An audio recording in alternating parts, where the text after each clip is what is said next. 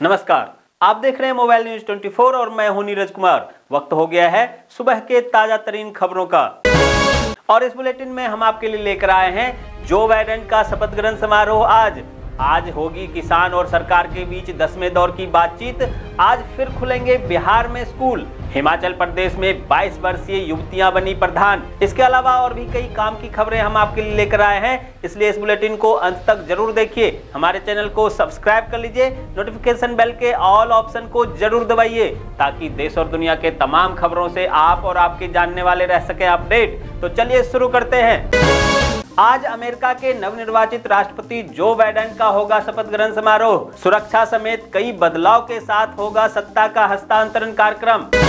आज किसानों और सरकार के बीच दसवें दौर की बातचीत होगी। हालाँकि इसका आज भी हल निकल जाए, ऐसी संभावनाएँ नज़र नहीं आ रही है। बीजेपी अध्यक्ष जेपी नड्डा को राष्ट्रीय अध्यक्ष बने आज एक साल पूरा होने जा रहा है, जहाँ इस मौके पर नड्डा के कई चाहने वाले ने विशेष कार्यक्रम का आयोजन किया है। इंडिगो पेंट्स 2021 का दूसरा आईपीओ आज खुलने जा रहा है। इससे पहले इंडियन रेलवे फाइनेंस कारपोरेशन का आईपीओ 18 जनवरी को खुला था, जो आज बंद हो रहा है। इंडिगो पेंट्स का आईपीओ 22 जनवरी को बंद होगा। आज नॉर्थ ईस्ट के मणिपुर, मेघालय और त्रिपुरा राज्य का स्थापना दिवस है। इस मौके पर राज्य सरकार की ओर से कई कार्यक्रम का आयोजन किया गया है। आज बिहार के छठी से आठवीं क्लास के स्कूल खुलने जा रहे हैं। वहीं फरवरी के पहले सप्ताह में पहली से पांचवी तक का क्लास खोले जाने की संभावना है। अब संसद के कैंटीन में नहीं मिलेगा सब्सिडी वाला खाना। लोकसभा अध्यक्ष ओम बिरला ने लिया बड़ा फैसला। उत्तर भारत में अगले तीन दिनों तक बढ़ेगी शीतलहर। आईएमडी का अलर्ट, राजधानी दिल्ली में पारा तीन डिग्री के नीचे जा सकता है। चेक बाउंस मामले में शीघ्र ट्रायल पर सुप्रीम कोर्ट ने मंगलवार को विभिन्न कोर्टों और राज्य सरकार तथा केंद्र शासित प्रदेशों को चार हफ़्ते में अपना जवाब दाखिल करने का निर्देश दिया है। इंडियन पोस्ट ऑफ़िस ने डाक सेवक के कुल बयालीस पोस्ट पर नियुक्तियाँ निकाली है। इच्छुक उम्मीदवार ऑफिशियल वेबसाइट www.appOst.in पर जाकर 21 जनवरी 2021 तक ऑनलाइन आवेदन कर सकते हैं। मध्य प्रदेश के मुख्यमंत्री शिवराज सिंह चौहान ने केंद्रीय रक्षा मंत्री राजनाथ सिंह से की मुलाकात। भिंड में सैनिक स्कूल खोलने की प्रगति पर हुई चर्चा। हरियाणा के पानीपत नगर निगम चुनाव में Dushyant Bhatt senior deputy mayor और रविंदर बने डिप्टी मेयर। 22 जनवरी को होगी उत्तराखंड मंत्रिमंडल की बैठक। कुंभ सहित कई अहम फैसलों पर लग सकती है मोहर। झारखंड में पंचायत चुनाव नहीं कराने पर मामला पहुँचा हाईकोर्ट। जल्द चुनाव की मांग को लेकर दायर की गई जनहित याचिका। असम के उद्योगपतियों से मिले छत्तीसगढ़ के मुख्यमंत्री भूपेश बघेल। छत्तीसगढ़ में निवेश के लिए दिया न्योता। राजस्थान में नई स्वास्थ्य बीमा योजना लागू करेगी गहलोत सरकार। पाँच लाख तक का होगा स्वास्थ्य बीमा कवर। महाराष्ट्र के ग्राम पंचायत चुनाव में सत्ताधारी गठबंधन, महाविकास अघाड़ी व विपक्षी दल भाजपा दोनों ही अपनी अपनी जीत का कर रहे हैं दावा, जबकि ये चुनाव किसी पार्टी के चुनाव चिन्ह पर लड़े ही नहीं जाते हैं। आगामी बंगाल विधानसभा चुनाव को लेकर सी वोटर का सर्वे। भाजपा को मिलेगी ऐतिहासिक बढ़त, लेकिन सरकार बनाएगी ममता ही। उड़ीसा के भुवनेश्वर से सांसद अपराजिता सरंगी ने शुरू की अन्नपूर्णा योजना। प्रतिदिन सात लोगों को मिलेगा मुफ़्त में भोजन।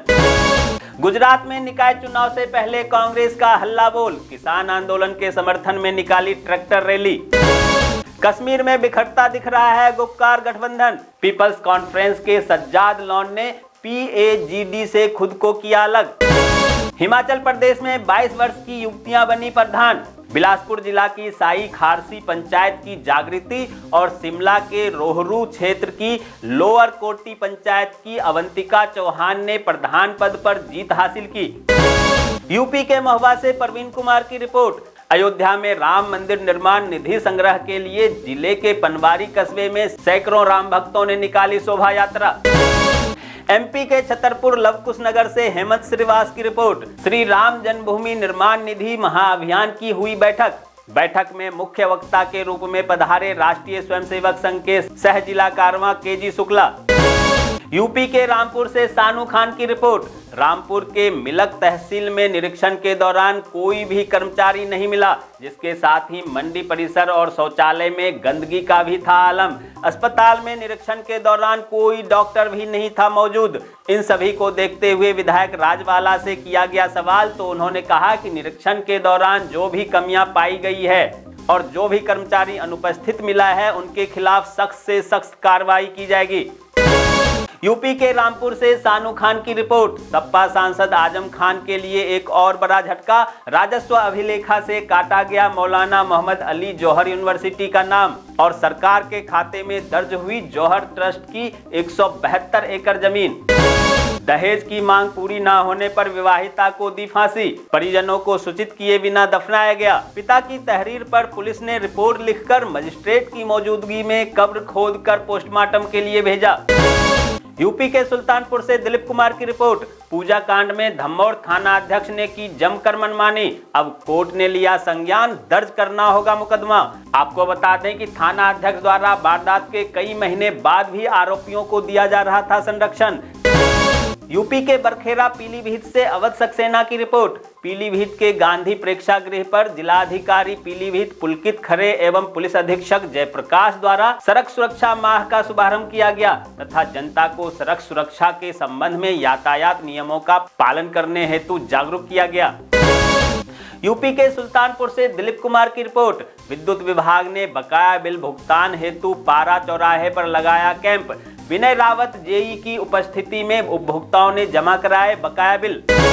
तो ये थी सुबह के कुछ ताज़ा तरीन खबरें, और ऐसे ही खबरों से अपडेट रहने के लिए आप हमारे चैनल को अभी सब्सक्राइब कर लीजिए।